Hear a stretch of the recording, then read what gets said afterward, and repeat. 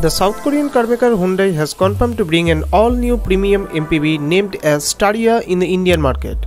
Now the MPV has been revealed ahead of its global premiere scheduled for the first half of this year.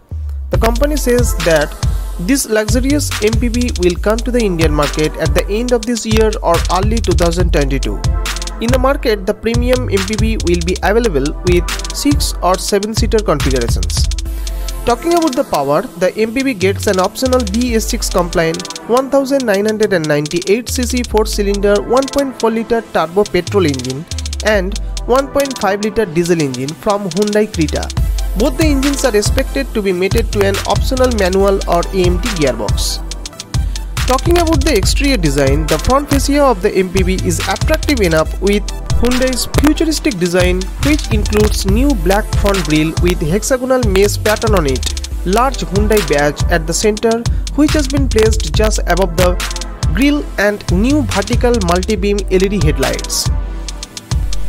The side profile of the car gets power square shaped ORVMs with sleek turn indicators, large windows, twin body color door handles which are placed side by side tall pillars and stylish diamond cut alloy wheels. The rear profile of the car gives a dramatic effect with its vertically placed large LED taillights, upright trunk opener and large Hyundai badge at the center. Like the exterior, the interior also has been made with futuristic design aspects. The interior of the MPV gets an airy cabin with dual tone dashboard design and full width horizontal AC vents. Newly designed powered telescopic steering wheel with steering mounted controls, centrally mounted floating touchscreen infotainment system with BlueLink connectivity, fully digital instrument cluster, centrally placed storage, ambient lighting, leather upholstery with second row captain seats and so on.